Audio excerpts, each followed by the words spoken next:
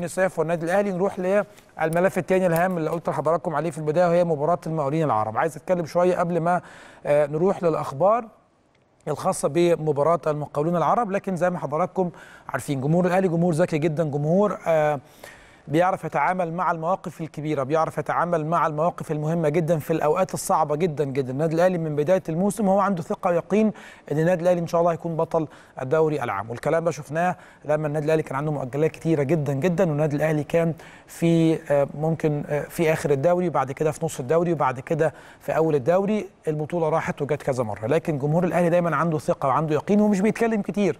دايما جمهور الأهلي مش بيتكلم كتير ودايما بيكون حريص على الجزئية دي تحديدا. جمهور الأهلي مختلف عن بقية الجمهور اللي موجود في مصر. عنده ثقافة عنده وعي ودايما بيتكلم بصفة الجمع. محدش بيتكلم فردي ابدا من جمهور النادي الأهلي. علشان كده بقول لحضراتكم آه، مباراة المقاولين العرب مباراة صعبة جدا. مباراة آه، فيها آه، طموح لنادي المقاولين العرب. كابتن عماد النحاس الدور الأول تغلب على النادي الأهلي وبالتالي الدور الثاني بيسعى كأي مدير فني وده حق مشروع جدا جدا إن هو يفوز على النادي الأهلي في المباراة الثانية حاجة ثانية إن النا- النادي المقاولون العرب واحد من الأندية اللي فعلا على مدار تاريخها آه، بتلعب دايما بشرف بتلعب دايما برجولة بتلعب دايما بقوة وده اللي نادي المقاولين العرب هيثبتوه في مباراة يوم الأربعاء. الحاجة الثالثه اللي بعد كده ناس بتتكلم على رحيل أحمد علي وأيضا عدم وجود طاهر محمد طاهر لكن زي ما بقول لحضراتكم أحمد علي مش موجود هيبقى في واحد أشرس منه هيبقى في واحد أقوى منه موجود وده أمر طبيعي جدا علشان يثبت نفسه علشان يقول أنا موجود علشان يقول لكابتن عماد النحاس إن أنا تقدر تعتمد عليا في الموسم القادم. كمان طاهر محمد طاهر واحد من اللاعبين المهمين جدا. لكن زي ما بقول لحضراتكم أي لاعب هيكون موجود وأنتم عارفين ماتشات الأهلي كلها وأي فريق مش بس المقاولين العرب كلنا يعني لو هنذاكر على مر التاريخ هنلاقي أي نادي بيلعب نادي الأهلي بتبقى المباراة مختلفة. كل واحد عايز يثبت نفسه. هي دي المباراة اللي اللعيب بيستناها من الموسم للموسم علشان هي دي الفاترينا اللي بيعرض عليها شغله واللي بيعرض عليها مستواه. ليه لأ؟ ما اكونش موجود في النادي الأهلي. وليه لأ؟ ما اعملش مباراة النادي الأهلي يعجب بيا ويضمني ويتفاوض معايا. ليه ما اعملش مباراة أبقى موجود في نادي كبير من الأندية الكره المصرية. طبعا المقاولين العرب نادي كبير جدا وكل حاجة لكن طبعا دايما ال- اللاعب كرة القدم طماع في طموحاته وطماع في أحلامه. علشان كده بقول لحضراتكم المباراة صعبة جدا. المباراة هتبدأ يوم الأربعاء. المباراة لسه ما خلصتش وبالتالي لازم ندعم لازم نقف لازم نبقى عارفين أهمية المباراة علشان من خلالها لو ربنا كرم إن شاء الله والأهلي فاز يتم تتويج الأهلي رسميا بلقب الدوري المصري الممتاز. زي ما حضراتكم عارفين من الهدف من الأول من بداية المعسكر مباراة المقاولين والزمالك. كل اللعيبة اللي اتكلمت معانا في المعسكر قالت أهم مباراة هي مباراة المقاولين العرب.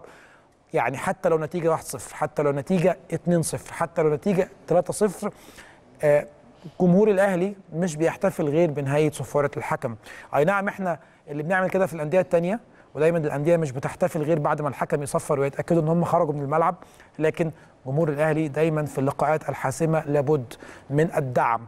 لابد من التركيز لابد من الوقوف ورا الفرقة علشان نعرف إن المسؤولية مش آه، آه، يعني مش سهلة. مش عاجبني السوشيال ميديا ومش عاجبني جمهور الأهلي اللي بعض منهم آه، بيقول إن هي مباراة سهلة بيقول إن هي مباراة يعني خلاص الأهلي حسم بيها بطولة الدوري. مع كامل الاحترام والتقدير لحضراتكم. المباراة صعبة جدا مفيش أي احتفالات مفيش أي انتصارات غير بعد ال 90 دقيقة. لازم إن شاء الله الأهلي يفوز بالمباراة علشان يتوج رسميا ببطولة الدوري. مباراة تاني صعبة مباراة مهمة مباراة للنادي الأهلي هتكون مهمة اولا لرد اعتبار الدور الأول والمباراة اللي خسرها أمام المقاولين العرب أيضا لثلاث نقاط مهمين جدا في مشوار البطولة. وأخيرا هي آه، الفوز ببطولة الدوري المصري الممتاز. زي ما حضراتكم شايفين هنا الأجواء من قناة الأهلي. إحنا عارفين مدى صعوبة المباراة عشان كده دايما بنتكلم عليها ونكون حريصين يعني نعيش الجمهور معانا في الأجواء. علشان لو ما عايشاش الجمهور معانا في الأجواء هنضحك عليهم. وهيكونوا دايما مش عارفين إيه اللي بيحصل وإيه اللي بيدور. التركيز جوه النادي الأهلي ما بين مدير الفني جهاز فني جهاز إداري لعيبة كلها مركزة. مفيش غير هدف واحد هو الفوز إن شاء الله بالثلاث نقاط. علشان كده بقول لحضراتكم دايما جمهور الأهلي بيبقى حريص جدا على المصلحة العامة حريص جدا على مصلحة النادي الأهلي. علشان كده إن شاء الله كلنا عندنا يقين وثقة وأمل في اللعيبة إن هي تقدر تحقق الفوز بالمباراة وتحقق الثلاث نقاط.